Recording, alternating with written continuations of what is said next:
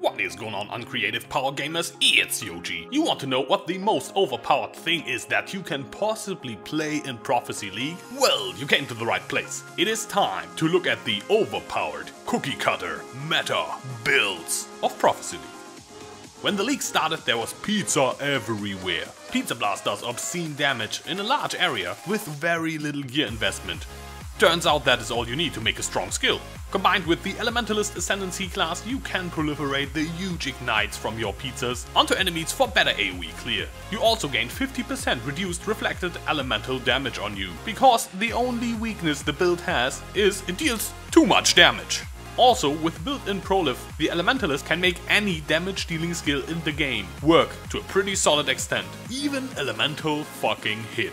Also, if you are playing an elemental build and it is not an elementalist, you are probably not trying hard enough. Another very meta skill right now is Blade Vortex.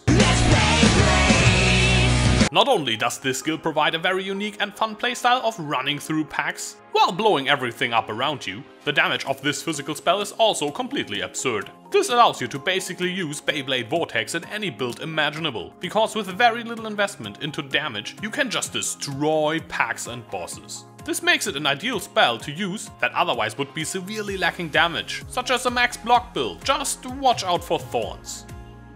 For Melee, there's good news. It is actually finally viable. And by Melee, I mean Earthquake, and by viable, I mean Void Heart. This ring has a questionable power level, as it is best in slot for any physical Melee build. And why use any other Melee skill when there's Earthquake? It offers the highest damage and the biggest AoE of all Melee skills in the same skill. Okay, okay, there's also Shield Charge, which got buffed this patch, so you can now be a pinball if you want to. And most pinballs seem to be using Facebreakers.